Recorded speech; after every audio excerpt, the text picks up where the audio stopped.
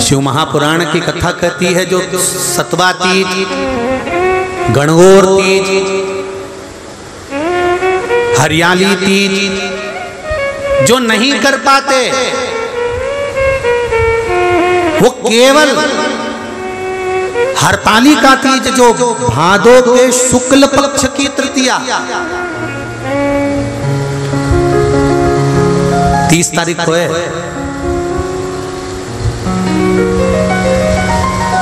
इकतीस को गणेश जी बैठेंगे। तीस तारीख को हरताली का तीज है। शास्त्र कह रहा है, जो कोई तीज का व्रत नहीं कर पाते, वो सौभाग्यवती नारी, कुंवारी कन्या, नारी, पुरुष, स्त्री अगर तीज का मात्र फुलेरे का दर्शन कर कर भी अपने व्रत का आनंद पा सकता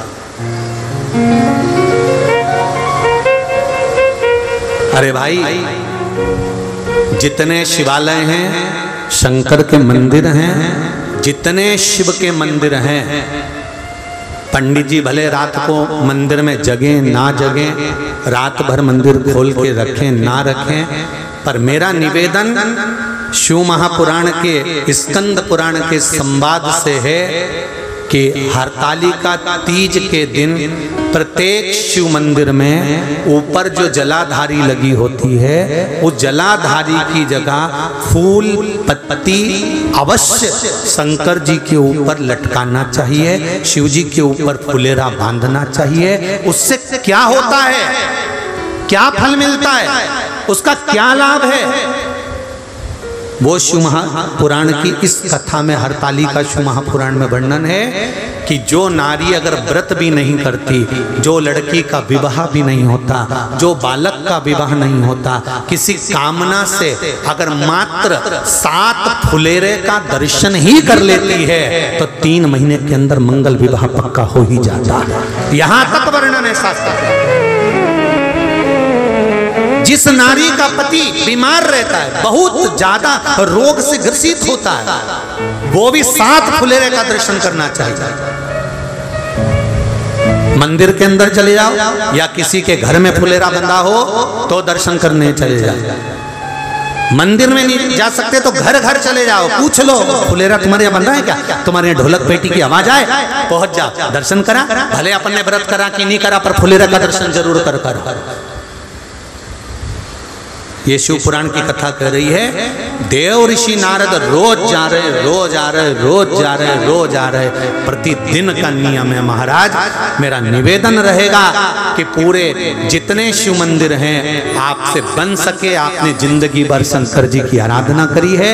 और अगर मंदिर के पुजारी ब्राह्मण जन अगर फुलेरा नहीं बाँध सकते तो वहाँ के ट्रस्टी, वहाँ के समाजजन, कॉलोनी के रहने वाले, गली मोहल्ले के रहने वालों से निवेदन है कि वहाँ कोई पूजन करने आए, चाहे ना आए पर शंकर जी के मंदिर में शिवलिंग के ऊपर फुलेरा बंधना चाहिए, जिससे कोई दर्शन कर कर जाएगा तो उसका अखंड सौभाग्य हो जाएगा। उसके लिए बांधना चाहिए। भले आप रात भर मंदिर नहीं खोलो, आपका मर्ज़ी हो तो खोलो, ना मर्ज़ी हो मत खोलो। फुलेरा बंधा होना चाहिए। और जिन जिन के घर में फुलेरा बनता है जिन जिन के घर में हरतालिका होती है, बड़े भाग्यशाली हैं साहब। आपके वंश को बढ़ता हुआ कोई नहीं रोक सकता। आपके घर का वंश बढ़ेगा ही निश्चित है। फुलेरा जिसके यहाँ बनता है, वो सहज बन सके शिव मंदिरों में मंदिरों के अंदर हरतालिका तीज के दिन। वैसे भी तो तुम गणेश जी के दिनों में खूब माइक चलाते हो, खूब बक्से चलाते हो, खूब डब्बे बजाते हो।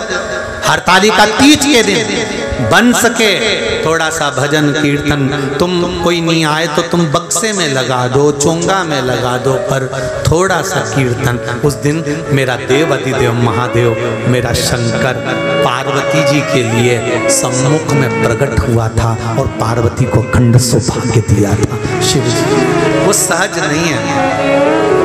तीस तारीख को हरताली का तीज है। दिल से शिव को मनाना। वीडियो पसंद आए तो लाइक और सब्सक्राइब करना ना भूलें। ज़्यादा से ज़्यादा लोगों तक शेयर करें ताकि सभी लोग इसका लाभ उठा सकें। मिलते हैं अगले वीडियो में। तब तक के लिए श्री शिवाय नमस्तुभ्य